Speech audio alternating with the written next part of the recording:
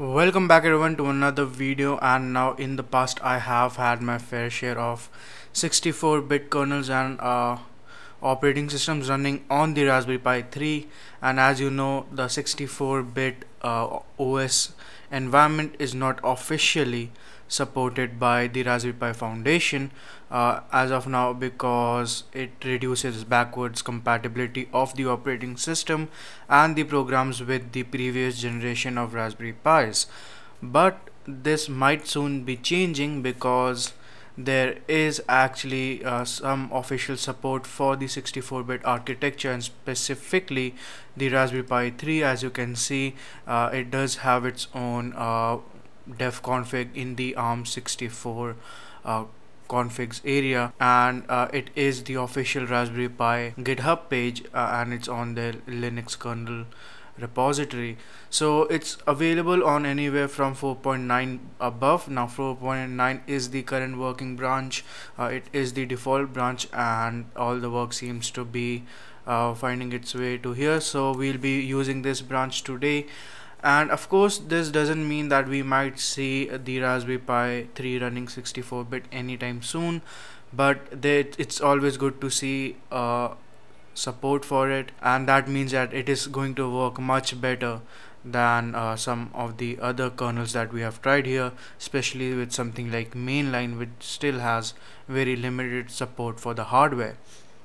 So to do this first we need an SD card that has already have uh, Raspbian loaded onto it now we can go ahead and create our own 64-bit operating system using rootfs from debian or something like that.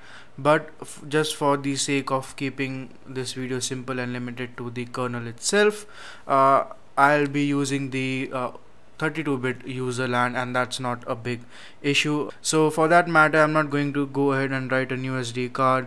So if you if from my previous video you remember that I booted up with a USB thumb drive uh, we are going to use the same drive here as now you can see it has automatically um, mounted itself. Uh, we don't want that to happen.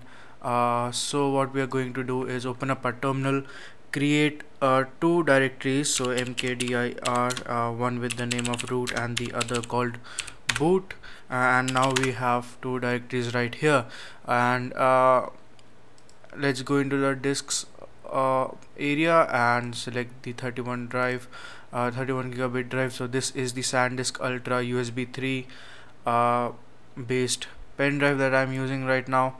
And what we'll do is unmount this partition as well as this. So we have SDD1 and SDD2 alright so mount SDD1 to boot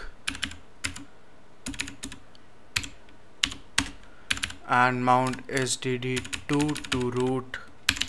And that way we have uh, it mounted nearby and we don't have to traverse much longer. So what I am going to do is just confirm that it is properly mounted. And so yes we seem to have everything here. Now in the uh, let's cd into the boot partition. And here we have some DTB files and our kernel file that we don't need and our overlays. So all of that is going to be replaced by the um, by the new 64-bit kernel. So the DTBs are also going to be in 64-bit uh, so uh, rmrf I probably need to use sudo here. And then star dot DTB all the DTBs are gone. And then uh, overlays. So I probably didn't need to use the R option there but uh, that's done. So all we have left is the kernel.img uh, we'll keep it. Again we'll be renaming that kernel to kernel 8 .img and the other files that are necessary to boot. So let's go back to our working directory and clone the Raspberry Pi's repository uh, and git clone and if you want don't want to, to have a big history of this repository uh, downloaded as well and want to reduce the download size I'd recommend using the depth equal to 1 option. Uh, also if you if you want to have a faster download speed use the git protocol. At times the git is actually uh, blocked by firewalls uh, maybe in offices or schools but um, it actually uh, gives you much higher download speed. Alright so with that done let's cd into the repository and then all we have to do is issue some make commands.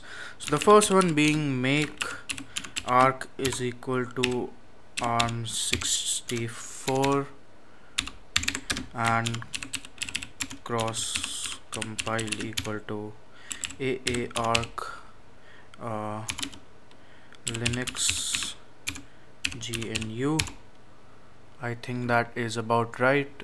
Alright so the final command being make arc equal to arm64 cross compile equal to aa arc uh, arc64 linux gnu and bcm rpi 3 def config and press enter and it will start to make uh, again this is not that heavy so I'm not using J4 uh, but now we are compiling the actual kernel. And just remove the uh, def config file and add a J4 now this will build your kernel kernel modules and DT uh, device tree binaries from the device tree sources so that's about it. Press enter and it should start to compile the kernel uh, and let's wait on it. Shouldn't take too long. And I'll be back once that is done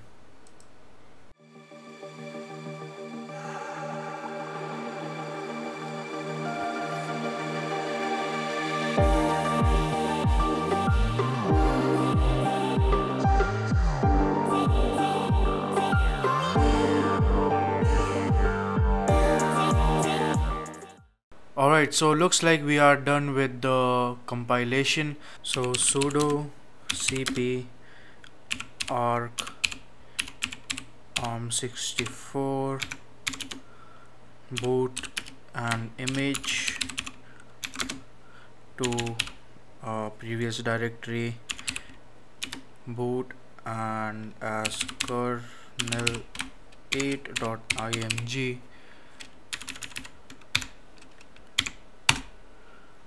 next what we have to do is copy the device tree files uh, so sudo cp arc arm64 boot dts broadcom uh, bcm 2710 rpi3.dtb to uh, previous directory and boot. Next create a boot.overlay folder in the boot directory. So sudo mkdir and p slash boot and overlays. And now to copy all the overlay files. So uh, sudo cp arc arm64 slash boot dts overlays slash uh, start dot dtbo to boot and overlays and that should be done. Sync it up and then copy the config.txt to boot the uh, required kernel so sudo nano and boot and config.txt and at the end we'll just enter kernel equal to kernel 8.img now we have to name it kernel 8.img and uh, this will tell the bootloader to boot everything in 64-bit mode including the kernel. Otherwise it will boot try to boot the kernel in 32-bit mode and fail. So uh, control X Y and sync the disks. It will take a few seconds. Make sure your disks are completely synced and then sudo umount uh, slash dev slash sdd1 and sdd2 and now you can safely eject your USB drive and plug it in or your SD card and plug it in on the Raspberry Pi 3 and see it boot.